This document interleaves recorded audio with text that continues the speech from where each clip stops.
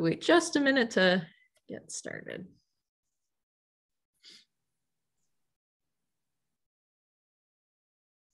Welcome everybody. We'll take just a minute to get started. Let everybody sign on.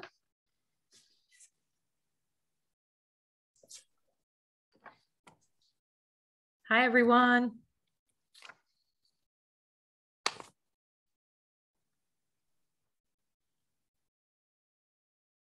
Okay, we will go ahead and get started.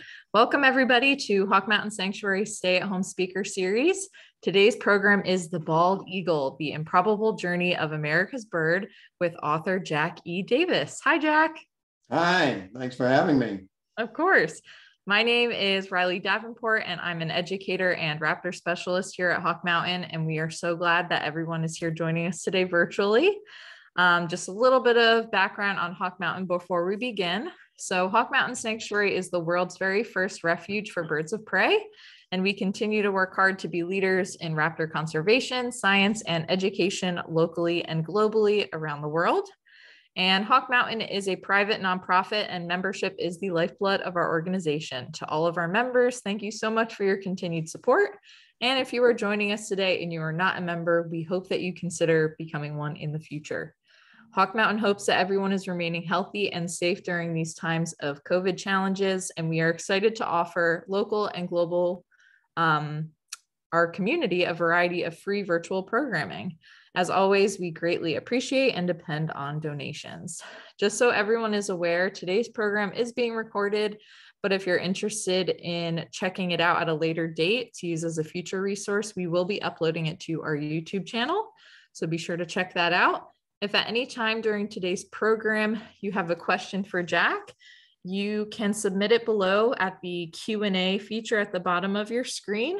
And we've saved some time at the end of the program to answer some of those questions. Um, all righty, so we are so excited that Jack is joining us today to talk about his awesome book about the bald eagle. Um, before we get started, I'm just going to share a little bit of background information on the book that we will be discussing today. So, Pulitzer Prize winning author Jack Davis will discuss his new book, A Sweeping Cultural and Natural History of the Bald Eagle in America, taking us from before the nation's founding through inconceivable resurgences of the enduring all American species. Jack Davis contrasts the age when Native peoples lived beside this raptor peacefully, when others, whether through hunting bounties or DDT pesticides, twice pushed the eagle to the brink of extinction filled with spectacular stories of founding fathers, rapacious hunters, heroic bird rescuers, the lives of bald eagles themselves, and even the history of Hawk Mountain. The bald eagle is a much awaited cultural and natural history that demonstrates how this bird's wondrous journey may provide inspiration today as we grapple, grapple with environmental peril on a larger scale. So, Jack, once again, thank you so much for joining us. I wanted to, before I hand it over to you to talk about the book, could you tell us a little bit more about the book you wrote that received the Pulitzer Prize? That's really that's really amazing. Yes, that book was "The Gulf: The Making of an American Sea," and uh, it's a an environmental history of the Gulf of Mexico from uh, focusing on the five U.S. states uh, from geological formation to the to the present. And uh, in, as an environmental writer, I like to bring nature to the forefront, obviously. And but um, not only that, I like to show it as a historical agent, as as a really shaping force in in human history. Uh, so, in other words, uh, we're not in full control of our of our history and or our destiny. And so, um, uh, I've organized that book around natural characteristics of the Gulf of Mexico: birds, fish, um, beach, um, uh, rivers, uh, weather, uh, and um, uh, and of course, oil is only a small part of that history. I didn't want oil uh, or even hurricanes to uh, to overwhelm the story of the Gulf of Mexico. It's much larger, much more interesting than just oil spills and, and devastating hurricanes. Mm-hmm. Well, thanks so much for sharing and congratulations. Yeah. That's a very prestigious yeah, award. Yeah. Um, so I'm going to hand it over to you. I'm going to um, mute myself and turn off my video, and you have the floor to get started whenever you're ready. Okay, great. I'm going to um, put up some images and um, and I'm hoping that um, you're seeing uh, cover of the book. Is that right, Riley? Yep, I can see it. Okay. Okay. Good. Good. And uh, so I wanted to start by by telling you, sharing with you why I, I decided to write this book. Um, after I finished the Gulf of Mexico book, um, I of course wanted to write another uh, book on the environment, and the and I wanted to write something a little different from your usual uh, environmental or, or, nature book. When we reflect on our past and environmental uh, record or relationship or our relationship with the environment, we, we tend to focus on, writers are guilty of this as anybody, uh, we tend to focus on the, the, the grim and the tragic. And uh, I wanted to give readers a break from that. So I wanted to tell a, an environmental success story. This is not to say that the, the grim and the tragic doesn't de- deserve its attention. Um, but I, I, think there's there's room for an alternative, and and this is also not to say that the bald eagles um, history with the uh, United States uh, is doesn't have its grim and tragic moments, but it also has some really, I think, um, bright, uh, re- redeeming moment, moments in um, the, the birds' moments in this relationship with with the uh, with the American people. Uh, I also wanted to and, and the bald eagle's story is really, uh, particularly in the late 20th and early in 21st century, is, a, is, a, is an extraordinary environmental success story. So I wanted readers to have uh, something that um, perhaps uh, offered some positive reinforcement as we as we face uh, continuing challenges, environmental challenges in the 21st century. Uh, we did something right uh, in the past. We can we can do it again, and more than just with the bald eagle. But I also wanted to write a an environmental story that could reach across, you know, reach a broad audience across the the you know the political uh, divide in in our country, and and the bald eagle seemed like you know the really the the perfect uh, subject for that. I mean, who doesn't love the bald eagle, whether you're a red, white, and blue American or a birder or a tree hugger or all of those in one? Um, you know, when you when we see a bald eagle crossing the sky, it's it's one of those poke the guy in, in the ribs next to you moments. You know, you uh, you point up to the sky and uh, you squeal or, or you grunt or whatever. You you you you get excited to see the bald eagle, and um, and when I started writing this book, I wasn't, I didn't know a lot about bald eagles. I grew up in Florida, but I, I grew up at a time when they, they just weren't around. Um, there were very few bald eagles, very few osprey. Uh, in fact, I never saw ospreys in the Tampa Bay area where I grew up or bald eagles until the uh, 80s for ospreys and 90s for, for, for bald eagles. Uh, that's because we had nearly killed the bay. Um, and the seagrass disappeared, the fish disappeared. And when that happens, of course, the birds disappear. And the bald eagle's pr- primary uh, food source is, is, fish. It's, it's, it's in the sea eagle genus.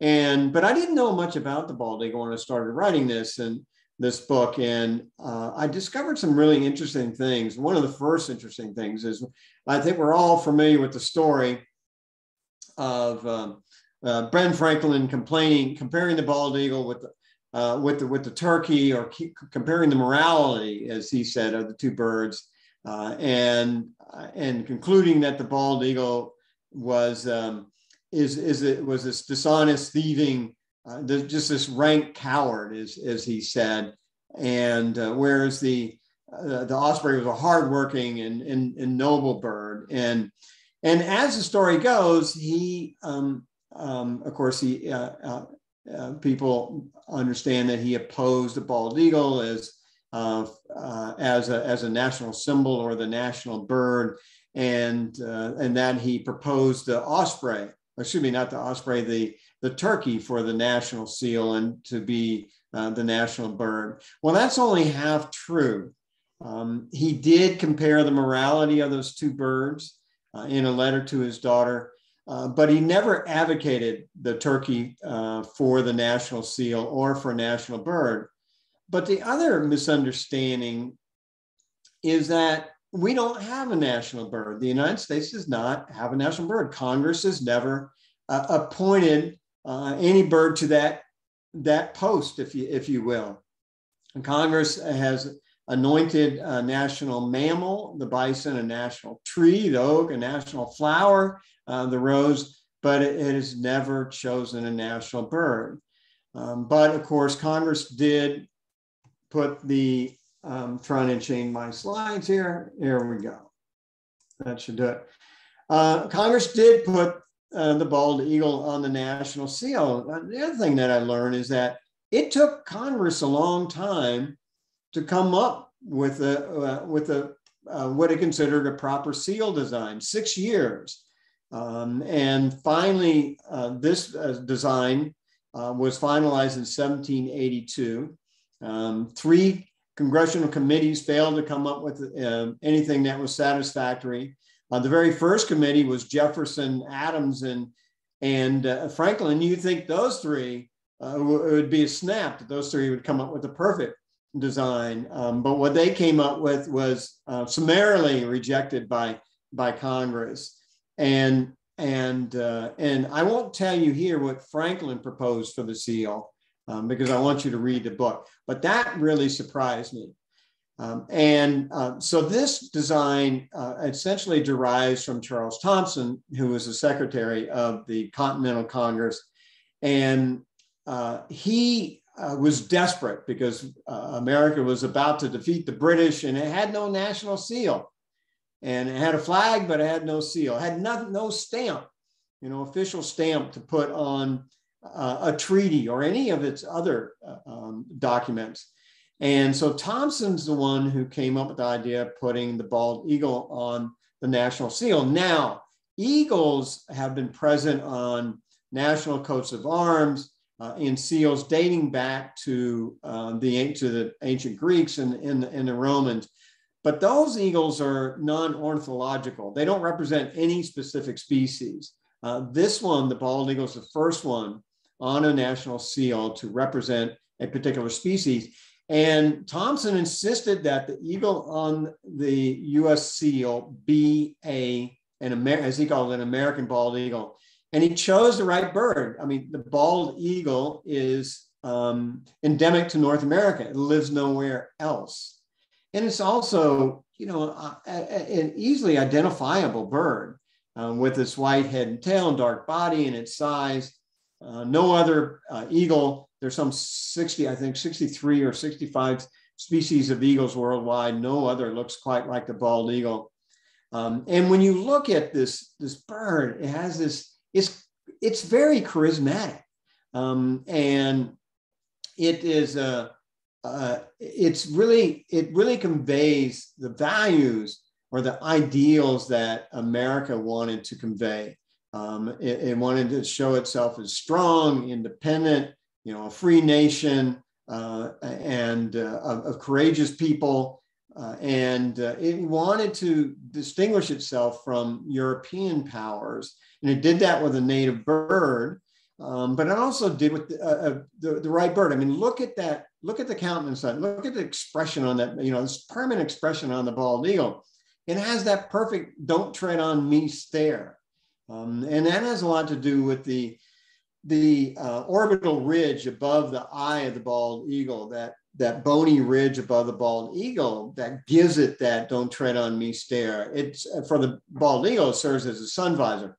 Its eye is also uh, uh, quite brilliant, striking. It's uh, nearly the size of, of an adult, um, uh, may, uh, an adult human's eyes. So uh, I, I think Thomson did, did made the right choice.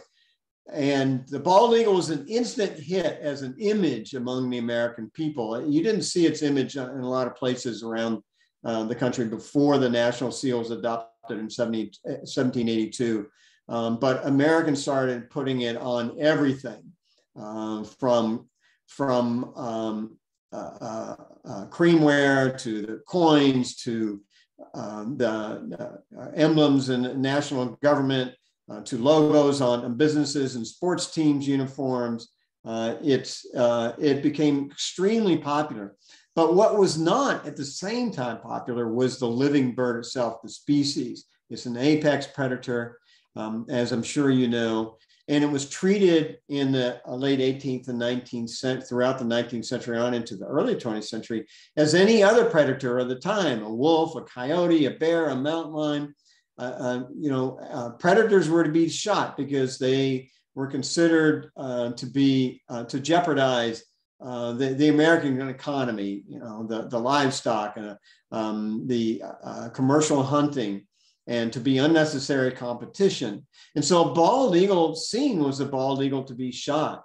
Uh, and it's it's one of the ultimate paradoxes in American history. Here is this bird that it represents, uh, you know, a free nation, yet it's being denied. The species itself was being denied its its its own freedom, uh, and so they're being shot left and right, um, blown out of the sky. Newspaper reports never can rarely ever condemned the shooting of an eagle. Instead, they reported on the wing size span, size of the wingspan, the weight of the bird, it was shot. Uh, it was no different from reporting on somebody catching a big bass that summer, you know. Um, and so here's a picture, and people got their pictures taken with um, with their quote unquote trophies. Uh, here's one from the 1930s. Uh, look at the you know, these guys, th- this picture's in my book. I was just mesmerized by uh, the, the expressions on these three men's faces. Uh, and they're quite proud of themselves, and others were too. I mean, so by the by the um, late 19th century, uh, the bald eagle um, was no longer seen in, in numerous states, particularly on the eastern seaboard. They were so scarce on the eastern seaboard where, where they had once been plentiful um, because, uh, uh, and so scarce that um, people thought they, um, by the 1880s or so, thought bald eagles were Rocky Mountain birds. Um, they were rarely seen in Philadelphia, for, for example, where they were quite prominent. Um, on the uh, Delaware River, there was probably at the time uh, during the colonial period uh, an eagle's nest every mile or two along the Delaware River because it was a very fishy river. Uh, and so uh, I, there were a number of myths that promoted the shooting of the bald eagle. They were accused, even by an ornithologist, uh, and including Audubon, um, that they that bald eagles would carry away uh, calves and, and sheep and and um, uh, and pigs from uh, the livestock farms. A bald eagle can carry away a chicken, um, but it can't lift uh, anything more than five pounds. And to get that, it really has to be moving. Uh, has it has to have great momentum behind it. Bald eagles um, or eagles generally were accused of of um, also kidnapping babies. Mothers were warned not to leave their infants outside lest a bald eagle come along and, and steal it and take it back to its nest and feed it to its young. Um, McGuffey Reader, which was the most popular, next to the Bible, most read book of the day, a primer for immigrants learning to uh, speak and read English and, and children, had a story for decades about a bald eagle carrying away a child to its nest. This is a, a, a still from an early, early Thomas Edison Studios film, uh, rescued from an eagle's nest. Um, and this prop eagle flying in on wired wires uh, carries away this baby. Uh, this is a live baby. Um, also, you can see it's clearly wired up too. Uh, those are in the days before um, child actors had any sort of protections, obviously. Uh, and so this myth can uh, remain um, powerful uh, um, past the World War II. Uh, and so uh, uh by the late 19th century, early 20th century, the bald eagle was at, uh, uh, at the brink of extinction in the lower 48 states. Now, the, the Americans' relationship with bald eagles was very different from the native relationship with, with bald eagles. For thousands of years, um, many native cultures uh, recognize the bald eagle as a spirit bird, a messenger bird, uh, a bird that would communicate uh, with the uh, with their uh, lost ancestors and, and, the Creator, a bird a bird that flew close to heaven or to heaven or to, to, the spirit world. And so native peoples in, in, their culture, feathers or, or, eagle feathers are extremely important. They're a conduit to uh, the, the, the, spirit world and they're used in, in rituals and ceremonies. And, uh, and so uh, many native um, um, societies had designated eagle hunters who would go out and uh, kill an eagle, just a few number uh, for their, um, their body parts and their feathers. The Zuni is a picture, 1879 picture of a Zuni um, at the Zuni Pueblo uh, in, uh, in uh, Arizona, New Mexico area. Uh, and the Zuni would actually take eaglets out of nests and raise them in these stockades, as shown in this picture. Uh, they wouldn't kill the eagles, but they would gather their feathers and, and when they molted, but also pluck them from time to time. Uh, and so it was a very different relationship um, with, with than that of uh, that of Americans. And so in the 20th century, early 20th century, when bald eagles were on the brink of extinction, and when, uh, by the way, the territory of Alaska had a bounty on bald eagles that ran from 1917 and 1952 and during that period, Alaska paid uh, um, bounties on over 128,000 bald eagles. And I estimated throughout the 19th century uh, in the lower 48, um, uh, more than uh, Americans shot more, shot and poison and club, more than that, uh, probably 150 to 200,000 uh, bald eagles. Well, there were some many people who were concerned about that. And one was Rosalie Edge. Uh, and uh, she, um, uh, she and Willard Van Name, um, who founded the Emergency Conservation Committee together in response to National Audubon, which refused to take a stand in defense of the bald eagle, uh, regarding it like everybody else did as a predator that needed to be controlled. Audubon would not take a, a stand against the bald eagle bounty, and this upset uh, Rosalie Edge, and that's one of the reasons why she started the uh, Emergency Conservation Committee. I love the name of the uh, of the organization, and she um, she and Willard Van Dam uh, Van Name and others uh, called for the protection of the bald eagle, lobbied the uh, um, Congress for the protection of the bald eagle, lobbied against the the um, the Alaska bounty, and finally. Um, Congress in 1940 uh, passed the Bald Eagle Protection Act uh, giving making the bald eagle the, the first um, non-domestic species uh, to have uh, individual species to have its own law uh, of protection. Other other wildlife uh, protective legislation um, focus on numerous species, but the Bald Eagle Protection Act um, focused or, or or actually covered only one species, and that, that was the bald eagle. Um, so that was in 1940. when it happens five years later?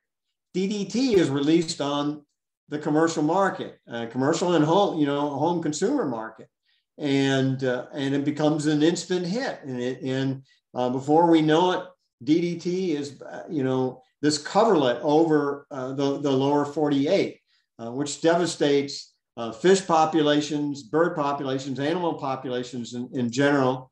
Here's a picture of Willard Van Name on Hawk Mountain, which I, I failed to show. Uh, and thank you uh, to Hawk Mountain Sanctuary for providing these pictures to me, which I uh, which I use in my book. Um, very much appreciate that. Um, and so DDT is is blanketing America. It's killing off all this avian life and fish life. The bald eagle population, like other bird population, other raptor population, plummets. Uh, this man on top of this pine tree, Charles Broley, retired banker from uh, Winnipeg, uh, retired to Tampa, Florida in the late 1930s, uh, began climbing trees to, to ban eaglets. Nobody was doing this at the time. And he did this for 20 years until age 79. Um, and uh, he is uh, probably the first person who uh, noticed the uh, the, the uh, precipitous decline of the bald eagle population in the 1950s um, and the first person to make a link between DDT and bald eagles. In fact, Rachel Carson in Silent Spring writes about Charles Broley. Um, uh, the other thing he did that was extremely important to science is that his banded eaglets, he banded um, over 1,200 eaglets in those, 12, uh, those 20 years. Um, they help science understand the migratory uh, patterns, which is really not a pattern um, um, uh, of, of, bald eagles. They're very random the way bald eagles, um, uh, unlike other migrating birds, migrate.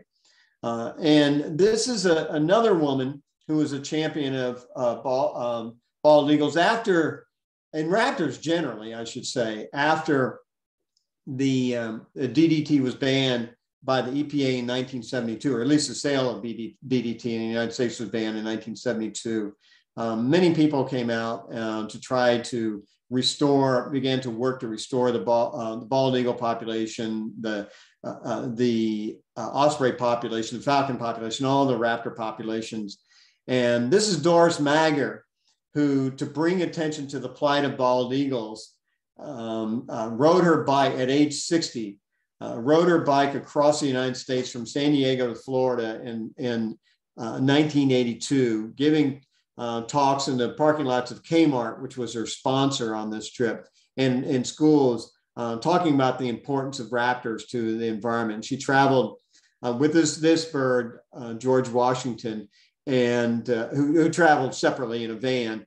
And, and an eagle she called um, ET, ET for extra terrific. And uh, I interviewed Doris Mager in her 90s uh, a couple of years ago, and she was still going strong. Uh, she said, as soon as COVID was over, she's going back out into the schools uh, to continue to talk about raptors. Um, the eagle, the bald eagle restoration program was launched in the bicentennial, at least the uh, the program um, that was overseen by U.S. Fish and Wildlife Service and, and also uh, state wildlife agencies was launched in the bicentennial year, 1976. Um, and it was a phenomenal success in restoring the bald eagle population.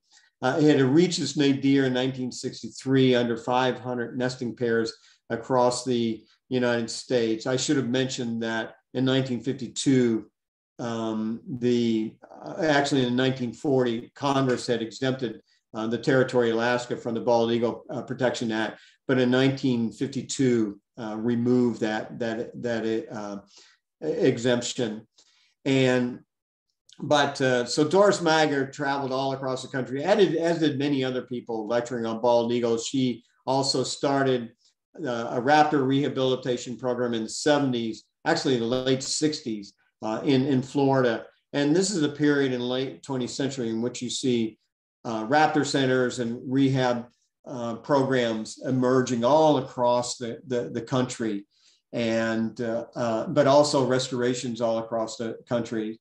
Uh, and the bald eagle and i have to say that it wasn't only the restoration program which was a phenomenal success in bringing the bald eagle back but that restoration program while it depended on dedicated wildlife people it also depended on um, the uh, the, the really powerful domestic instincts of, of, bald eagles to rebuild the population.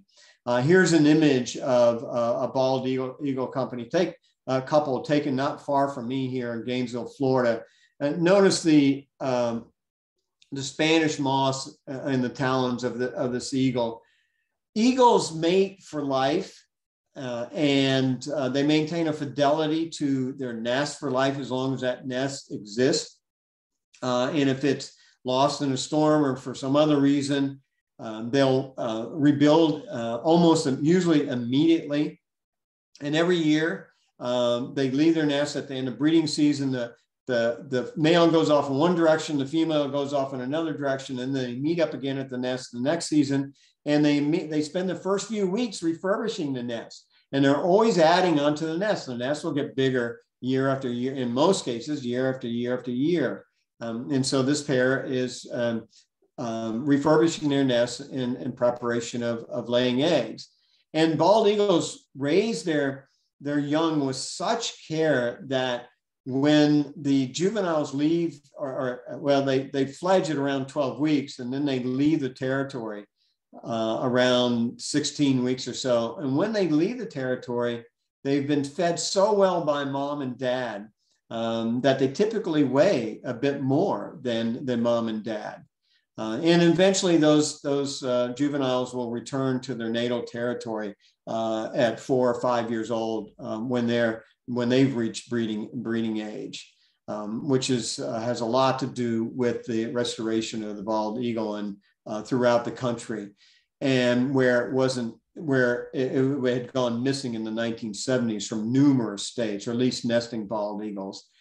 And um, so the bald eagle population by, uh, by 1999 was, uh, was at such a point that uh, the bald eagles were ready to come off the endangered species list, but um, bureaucratic inertia delayed delisting till 2007. The population, nesting population uh, at, at, that time in the lower 48 was around uh, 10 to 11,000. In the 2010s, the decade of 2010s, the bald eagle population quadrupled. Today, it's around uh, in the lower 48, over 300,000, probably 500,000 continent wide, which is equal to the estimated size of the bald eagle population at the time Europeans uh, uh, uh, first began settling in, in North America. Phenomenal comeback, uh, a, a, tremendous environmental success story. Um, I wanted to, before I um, finish up here and uh, take uh, questions, I wanted to read just a couple of, about three paragraphs from the book to give you a flavor of the book, but also these paragraphs are about Hawk Mountain. So um, I thought you would enjoy that, which I visited uh, during um, during COVID. I researched this book during COVID, but I unfortunately was able to visit um, Hawk Mountain in uh, Hawk Mountain in um, tw- uh, September 2020, and um, was so glad that I did.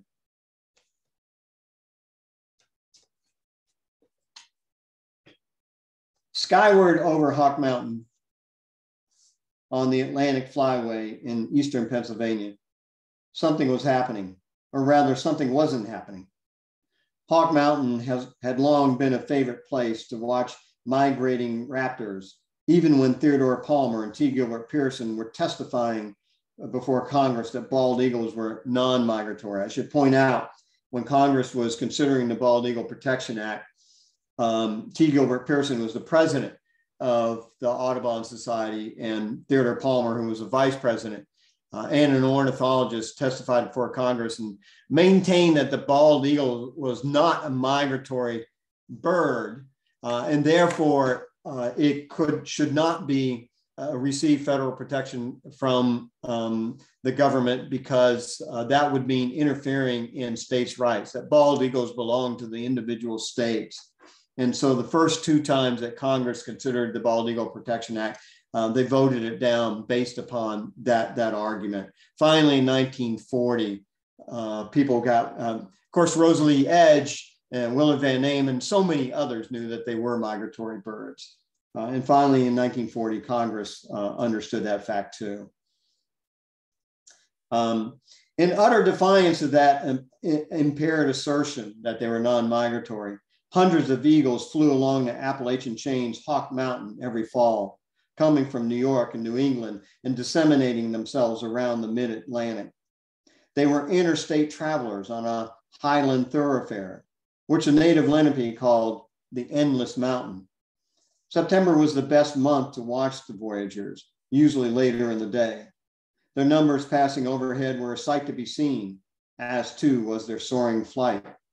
Looking up, one could understand why these formidable flyers evoked the reverence of native peoples, why they were hallowed birds. In native cultures, the mountain range was a sacred reach into spiritual heights and as wondrously alive as the migrating birds. In the natural realm, the mountain was no passive topographic mass either. It was a maker of air currents and the catalyst of flight. Wind combined with geography gave birds wherewithal. Soaring species are experts at locating moving air that will carry them on their respective journeys. Some currents rise from the Earth's warming during the day, infusing the cool air above with uplifting thermals. Some currents come from two masses of air colliding from opposite direction. Some originate with horizontal wind, careening into a hillside or mountainside and turning upward and into soarable lift as at the endless mountain. On prodigious wings, birds ascend on the vertical thrust and then drop into a shallow dive to gain momentum and to advance in the desired direction. Locating, another draft that angle their wings ever so slightly to deflect the air beneath them downward and, as an opposite reaction to this action, bear themselves upward against this again to start the cycle over. And so they glided over and along Hawk Mountain, eagles, hawks, harriers, falcons, merlins, ospreys, vultures. They flew high, too high sometimes to be identified without a scope or binoculars, unless you had a trained eye or could make out an adult bald's exceptional white tail. Eagles and vultures, for example, are similar in size, shading, and wingspan, and can, and can confuse the naked and untrained eye. Along with the objects of their fascination, birders converged on Hawk Mountain and forest, testing their skills at identifying high flying raptors and taking in a thrilling view. The broad sky panorama at 1,500 feet from ridge across valley, heavily forested and generously littered with glacial sandstone rocks, and smelling of minerals and soil, could stir an artist of the Schuylkill or Hudson River School into breaking out brushes and canvas. Some people, both men and women, broke out guns instead. Hawk Mountain was a popular den for recreational assassins with a if it flies, it dies mindset, blasting away at the caravanners on ancient pilgrimages. There was no purpose to the violence outside of killing for the sake of killing and shooting for the sake of shooting. This was not predator control. The gunners were not hunters of food. The fallen were nothing more than a score to them, a pose for the camera, the sky, something to empty. Determined to put an end to this, this pointlessness, Rosalie Edge raised money to lease 1,400 acres on the mountain and hired a husband and wife wildlife warden team to hinder the guns. Four years later, after a heated struggle with National Audubon, which believed it should be the proprietor of Hawk Mountain, Edge bought the 1,400 acres with the, finan- with the financial support of Willard Van Name and many others. So why don't I stop there and um, take any questions folks might have. Awesome.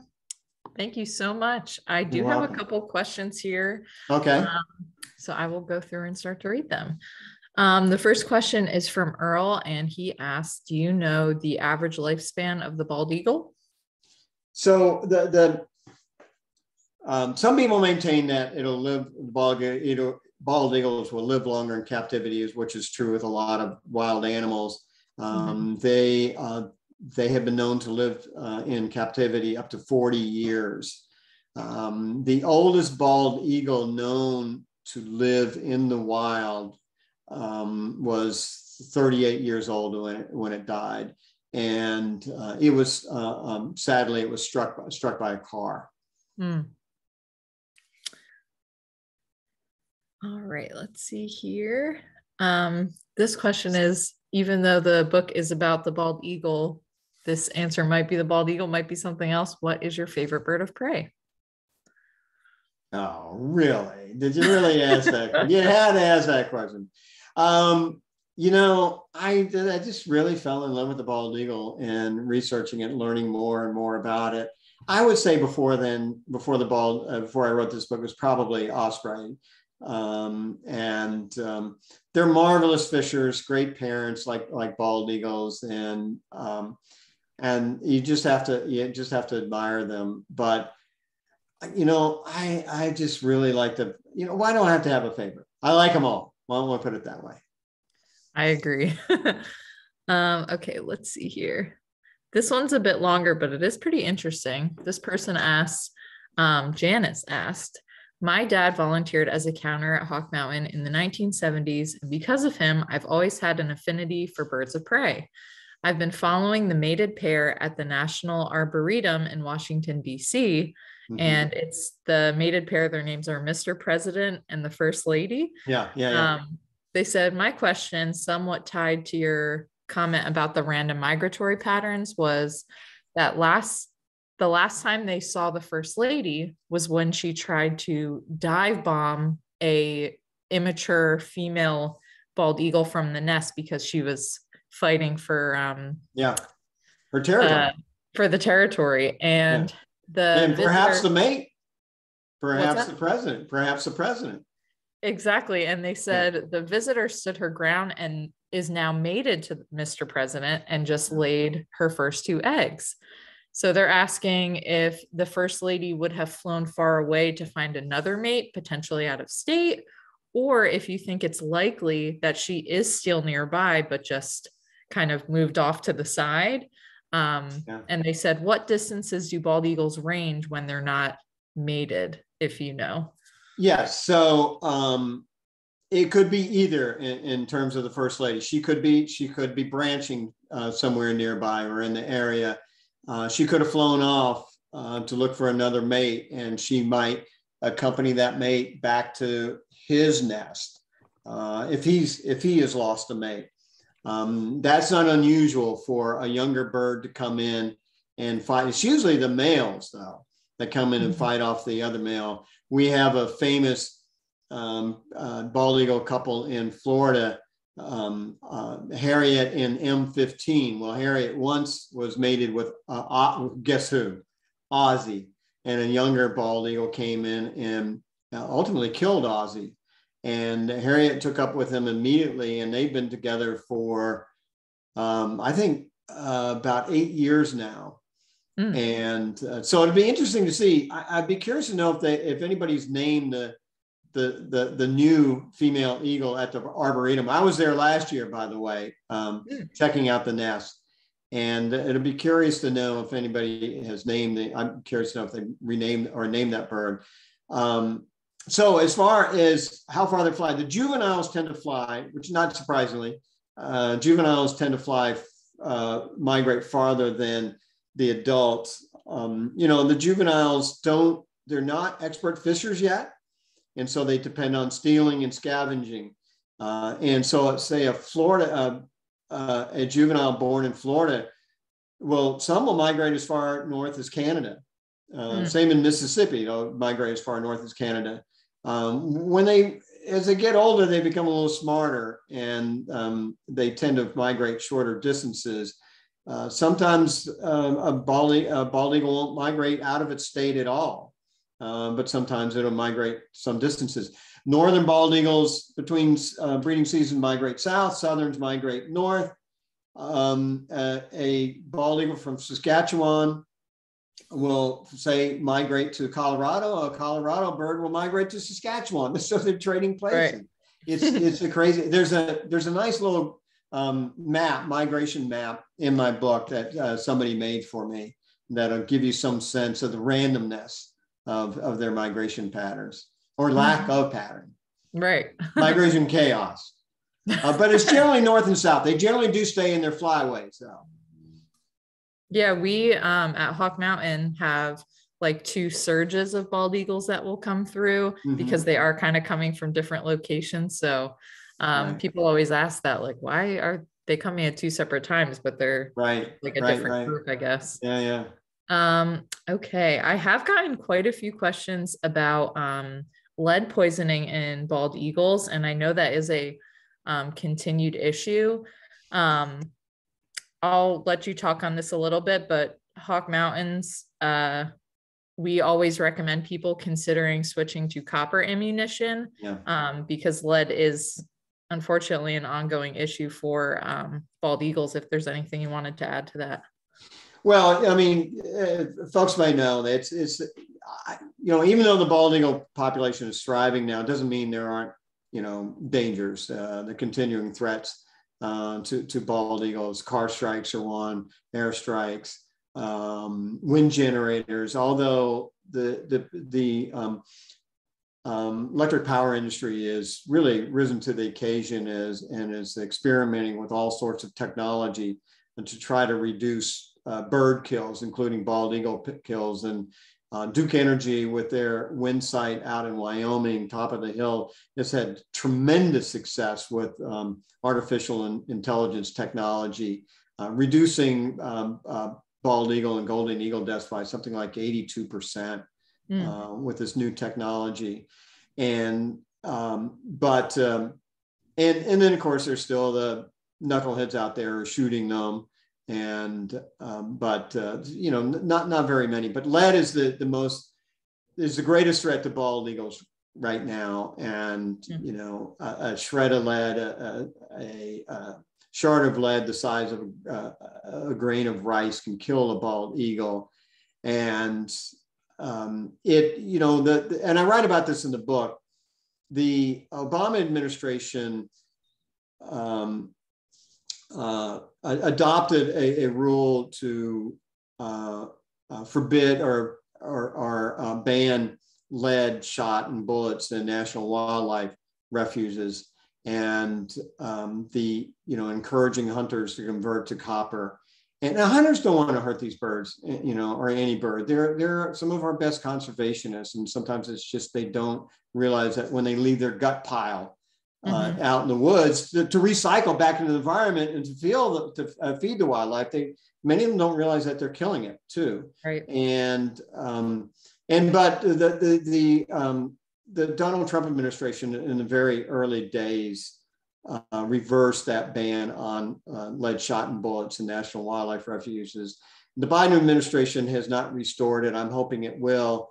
Uh, I'm hoping that there's a campaign, just a you know voice campaign and publicity campaign around the country to encourage hunters to to um, you know start using copper bullets. They're about 30% more expensive Right. Um, but it's not like you go out, a, a, real hunter goes out and, you know, shoots 100 rounds, uh, even in a season. Mm-hmm. Uh, so we afforded the conversion to uh, away from leaded gasoline. We can afford this, I think. it's good for us too, because we're yeah. leading, you know, you, you take the venison home, you know, take the deer home and, you know, you serve it to your family too. There can be lead in it. Mm-hmm. We had a, um, a in-person lecture i think it was already last year now talking about the lead poisoning and showing um, they would take x-rays of meat that people took home to feed to their families yeah. and you know there are the traces of lead in it so yeah it, it definitely benefits everyone in the situation i have uh, good friends in new hampshire where i have a second home who uh, keep me well fed on venison uh, during the summertime, and I appreciate that. They go out and hunt, uh, uh, hunt every fall, and uh, they've assured me they're using only copper. I'm, I, you know, I don't want to be absorbing any lead. Mm-hmm. Very good. Um, all right, we do have a few more questions here, and update the um, the one female bald eagle that overtook the nest they did name her earlier this year. Her name is Lady of the United States. So there you go. Lady of the United States. Well, M15 has never gotten the one uh, who took up with Harriet and killed Ozzie, has never gotten a pet name. It's now it, it continues to go by its uh, fish and wildlife uh, designation. That's funny. All right. So a couple more questions here. Denise asked, do you know how long immature eagles will stay with their parent uh, pair? Yes. They, so um, the parents leave the nest uh, early on when the, when the, the eaglets are around, you know, four to six weeks of age to give them room because they're growing big and they've got to exercise. They're balancing, they're exercising the wings. The parents no longer stay in the nest. They'll branch, uh, but they'll continue to bring food to the nest.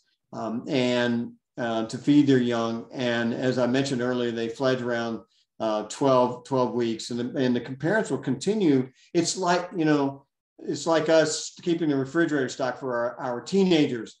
Um, they continue to bring food to the nest and usually around, you know, somewhere around 16 to 20 weeks, the, the, uh, the juvies will leave uh, the territory.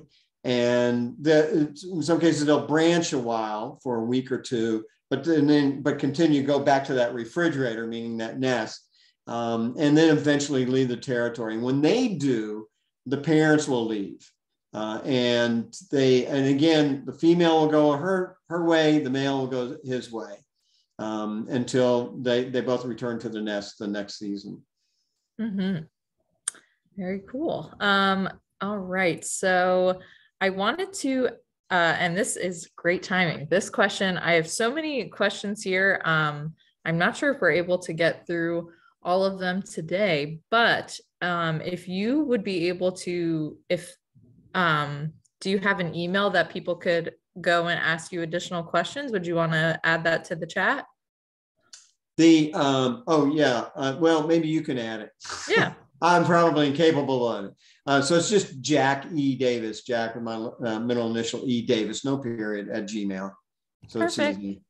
Awesome. I'm gonna I'm I'm going to be on the road for the entire month of March for a book tour, so uh, I may not be able to respond uh, right away, um, but I, but eventually I'll I'll um, I'll answer your question if you email me. Awesome. There is one last question that I think would be a perfect wrap up. They said, This question is from Jim. They said, Great new perspective. Can't wait to add it to my collection. Is the book available? Where can we find the book? Oh, anywhere, everywhere. It, it, it, was released March 1st. Um, you can get you can get it on, on online booksellers. You can get it at your local bookstore. Uh, it's um, um, yeah, it's uh, you shouldn't have any problem uh, getting getting a copy uh, whatsoever. Yeah. Perfect. Someone just said that it's on their Amazon wish list. Hint for her husband. All right. Well, thank you so much, Jack. It was such a pleasure. And thank you, everyone, for being such a great audience, having so many awesome questions. Yes. Um, we have some upcoming stay at home speaker series in the upcoming weeks. Next week, we have one same day, same time um, about peregrine falcons with uh, Gilbert Myers. And we also have one the a couple weeks after that about James Bond and his um, unknown connection to Hawk Mountain. So thank you everyone so much for joining us. Jack, thank you so much for My pleasure. with us today. And yeah, have a great night, everybody. Yes. Have a good night. Bye-bye.